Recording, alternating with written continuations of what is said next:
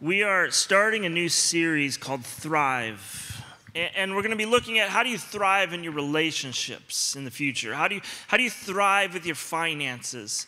How do you thrive even in the midst of your failures? I don't think oftentimes we think about the fact that it is possible to thrive through life's struggles.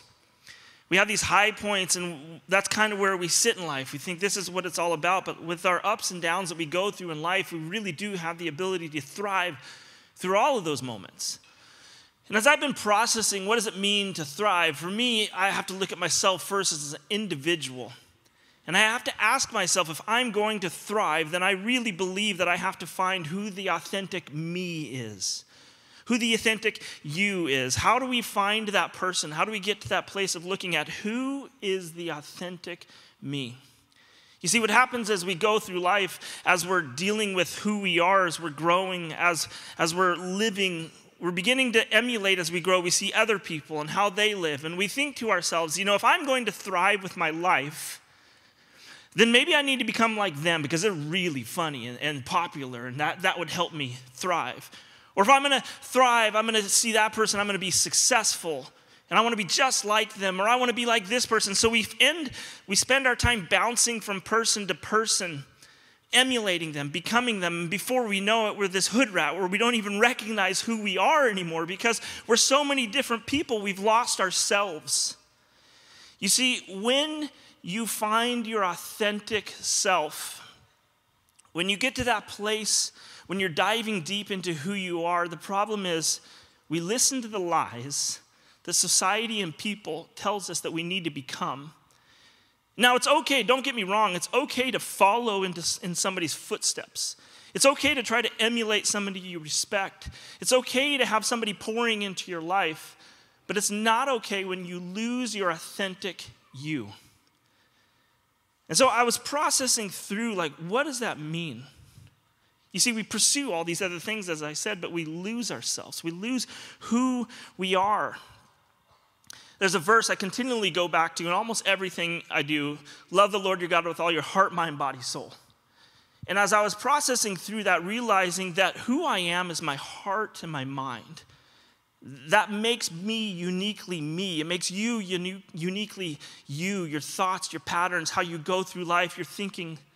My soul, that's that eternal story of who I become. And my body, I think in my early days, I think that, you know, this, my body is all that matters. And then as you age in your 40s, you're like, my body's okay. And then in your 50s, you're like, I think I'm almost dead. buddy mine sent me a picture this weekend. Uh, he said it was a picture of like a band aid. Put the band aid where, where it hurts. And when you're over 50, it's just an entire band aid, it's just covering your whole body.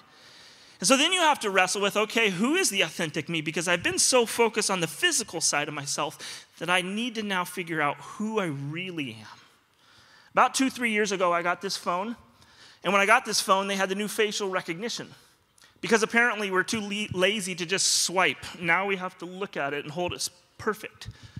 But COVID was difficult because when I would look at it, it wouldn't recognize me. So I'd be in the store, instead of pushing the little numbers to unlock it, I would look around, I'd pull my mask back, and I'd look at it, and it would open, and I'd go about my day.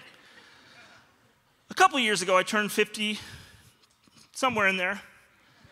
And something happens when you turn 50. Like, not only does your body drastically begin to age rapidly, but for some reason you become obsessed with the weather. I don't know why. We live in Phoenix. It's sunny for the next 3,000 years, and yet every single morning I have to look up and go, what's the weather gonna be like today?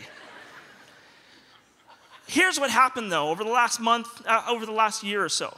I wake up. The first thing I do is I grab my phone and I look at it because I'm too lazy to push the code in. And it does the facial recognition, and the lock unlocks, and then it locks again. So I shift the camera a little bit, and it unlocks and it locks again. So then I'll try to smooth out my face, and it unlocks and it locks again. And what my phone is saying is, I used to know who you are, but in the last couple of years, I've lost whoever that is inside because you don't look the same. You've got these bags underneath your eyes. You know, when you walk up to somebody that's like famous or respected, and you, you finally see them up close, and it's one of those things where it's like, whoa, like you don't look like that from a distance. That's what happens to all of us. And my phone is this constant reminder of your body is just temporary. And it is not going to be what lasts. It is not going to be the story that people hold on to. If I'm going to find the authentic me, then I have to look inside of myself at my heart and my mind. And I have to think about the things that I'm putting into myself. And I have to look at how I'm interacting with people. And at some point, I have to wrestle with who I am authentically. Because not only is my phone telling me I don't know who you are, but oftentimes you'll see friends or people that you know and you're like, I, I don't, I don't know what happened to them. I don't know who they are anymore. So, as I look at who the authentic you is, who the authentic me is, in order to thrive, I have to become in that place where my heart and my mind are stepping in junction with where God is leading me. One of the passages I've been reading lately is Romans chapter 8. And I'm going to read it slowly and just ingest this in. It says, Those who think they can do it on their own end up obsessed with measuring their own moral muscle, but never get around to exercising it in real life. Those who trust God's action in them find that God's Spirit is in them, living and breathing God. Obsession with self in these matters is a dead end. Attention to God leads us out into the open, into a spacious, free life. Focusing on the self is the opposite of focusing on God.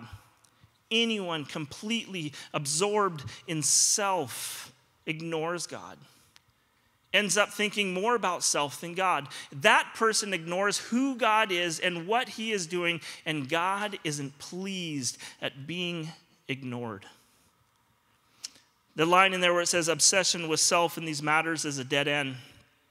It talks about how we use our own moral muscle.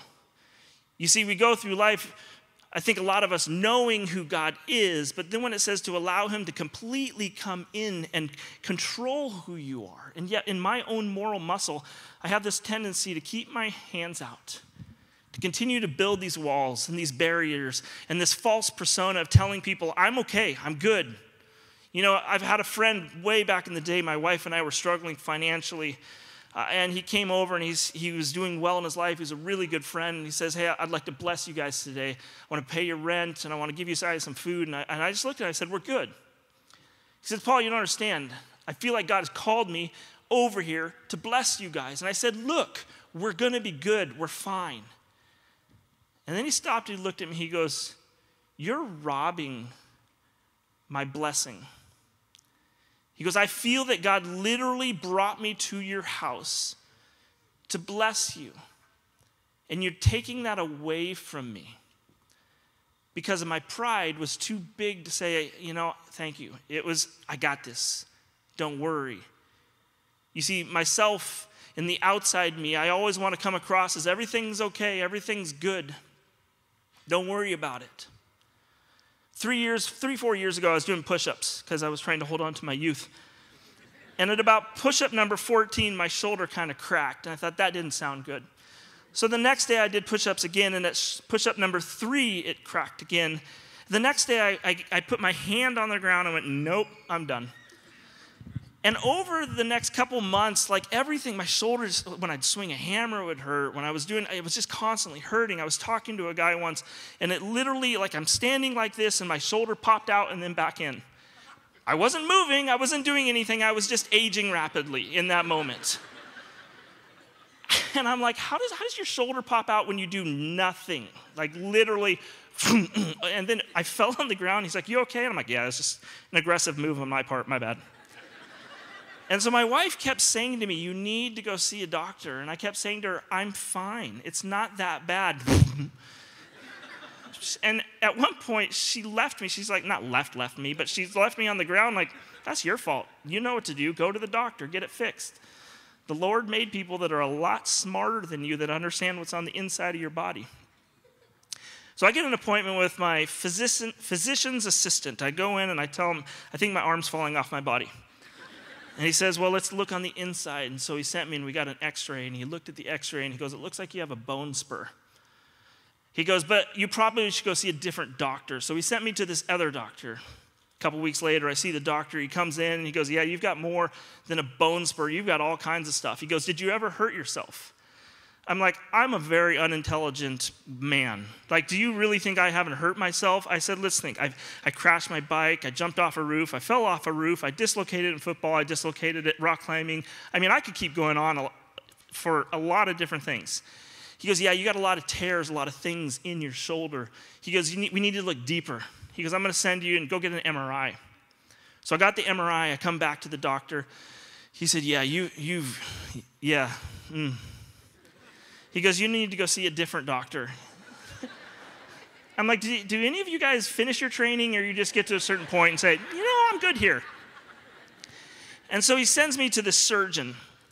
And the surgeon walks in, and I love surgeons because they have no like bedside manner. It's just, Hi, you're broken. Bye. And so the surgeon walked in and he goes, Hello, I'm going to look at your scans. I'll be right back. And he leaves the room. And I'm not kidding you, 30 seconds to a minute later, he walks back in. He says, You need a complete shoulder replacement.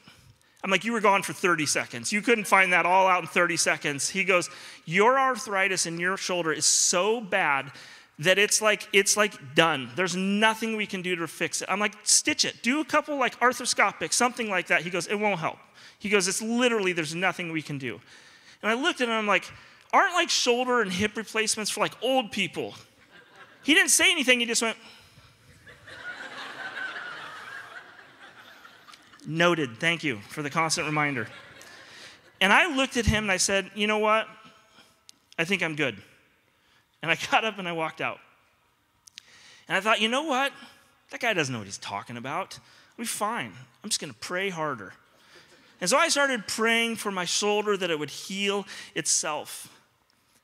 You see, what I realized when we have people that actually can see inside of us and they can see our soul and our heart and our mind and our thoughts and they know us so intimately that they can look and say, There's something wrong with you. You've changed. You've lost the authentic you. And yet, from the outside, we still have this endless battle of pushing people away and hiding who we are on the inside because we don't want people to know that inside we're hurting and broken. Probably about five, six years ago, I started this quest to kind of figure out who I was deeper inside of me. And so, one of the books I read was a book called Scary Close by Donald Miller. And when he wrote this book, he was writing it, the, the subtitle is Dropping the Act and Finding True Intimacy.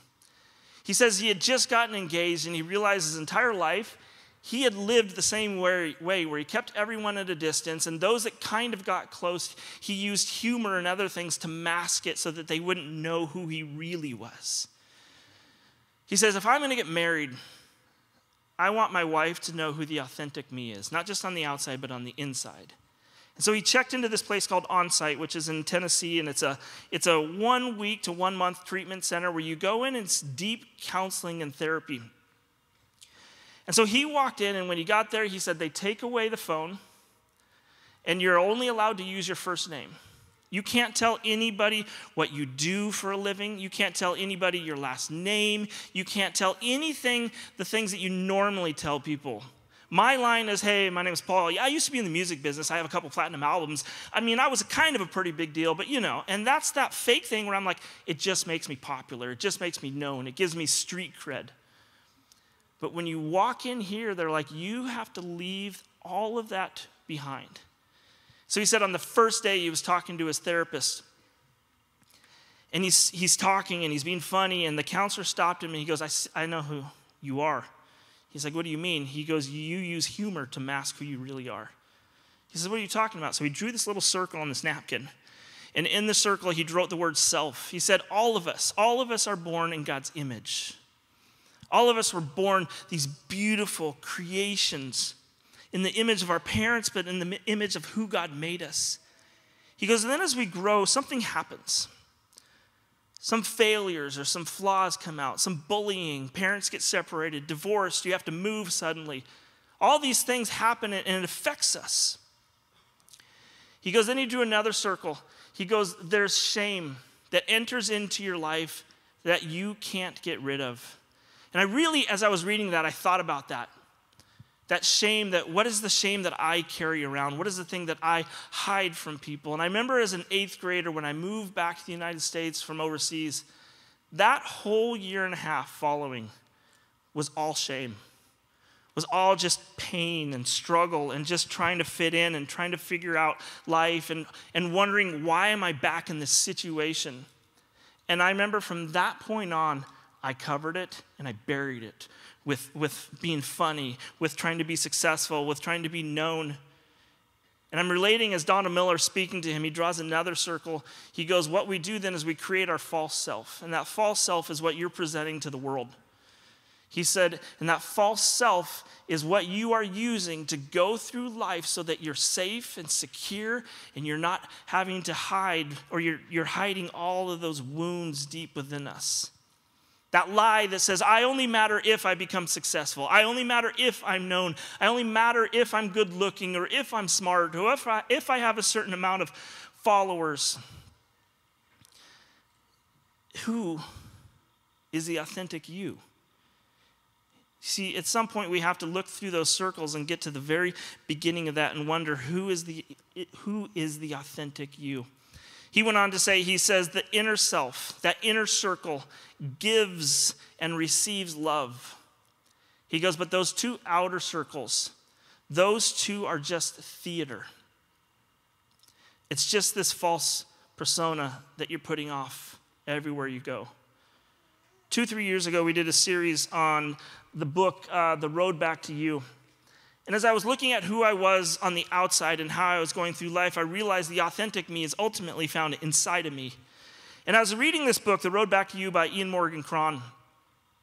And it talks about nine different personality types, and these nine different personality types are all different images of who God is, and we all reflect that image of God, but we gravitate towards certain ones.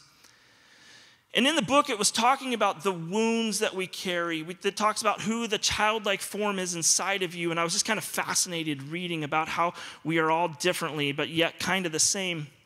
And then I read through the chapter where I realized, oh my word, they're writing about me right now. And it was just, it was the weirdest experience.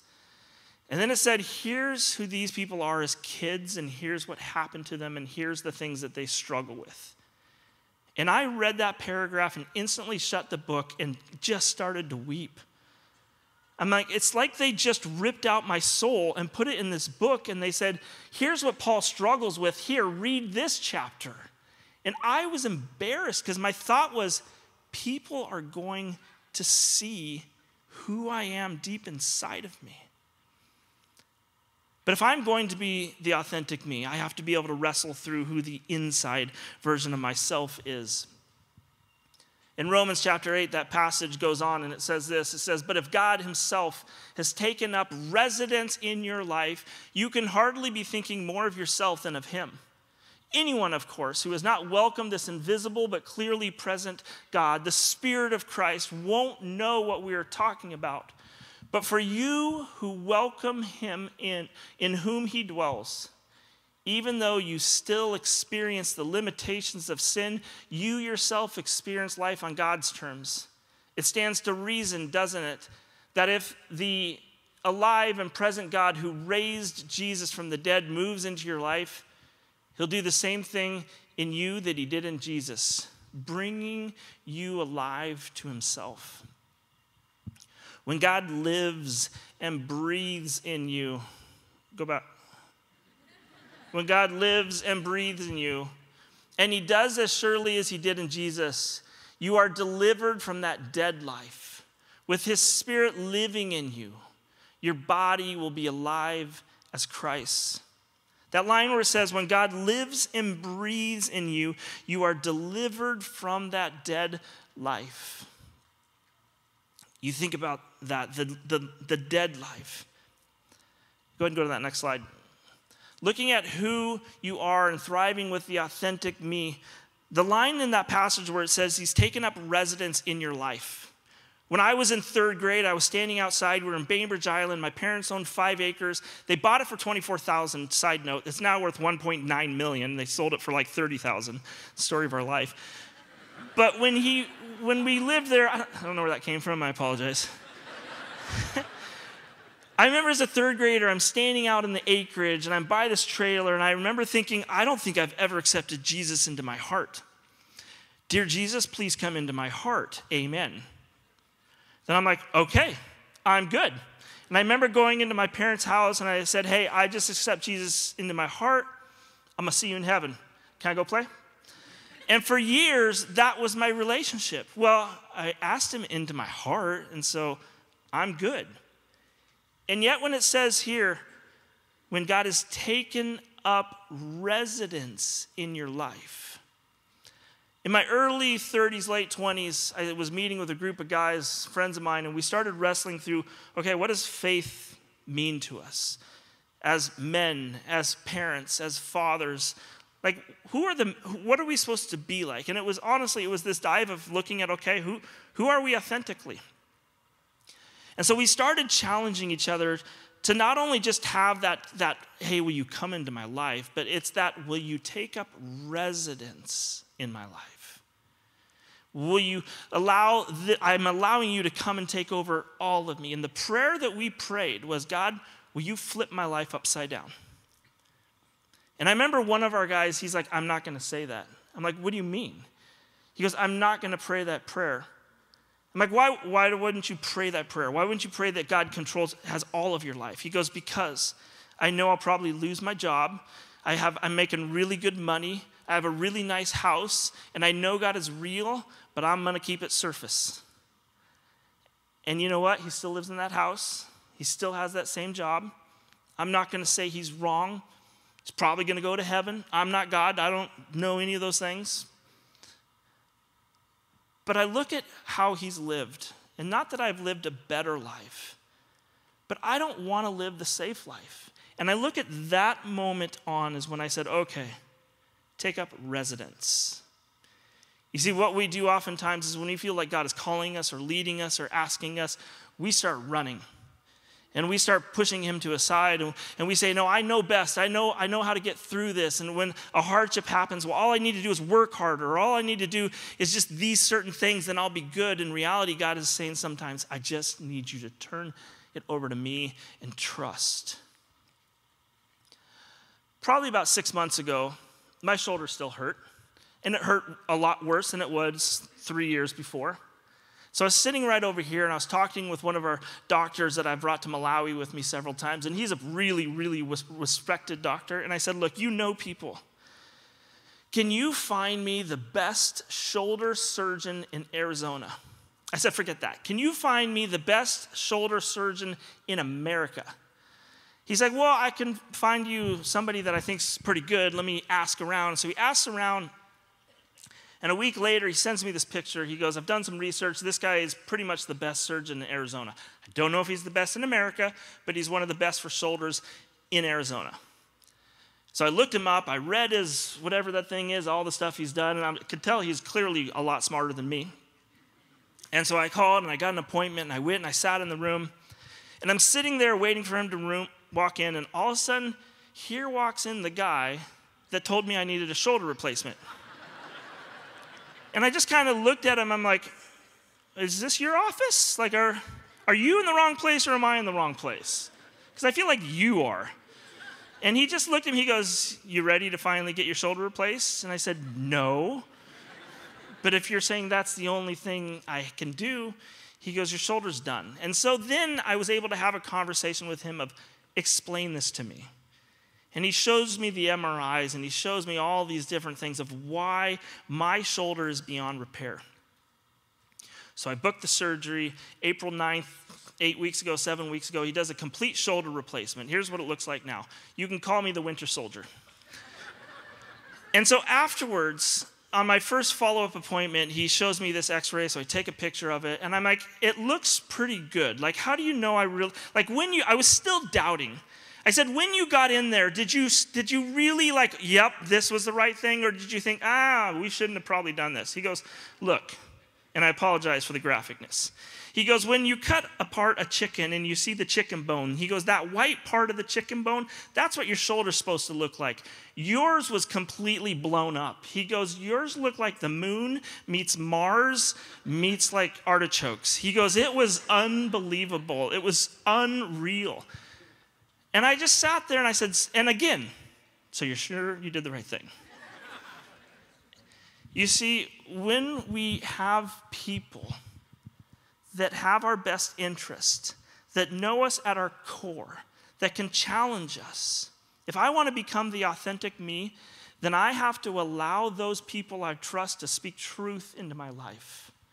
Since that moment of God turned my life upside down, I've made it almost uh, uh, mandatory that I constantly have men speaking into my life that are speaking truth because my mind likes to wander and I love going on adventures and I can get lost quick.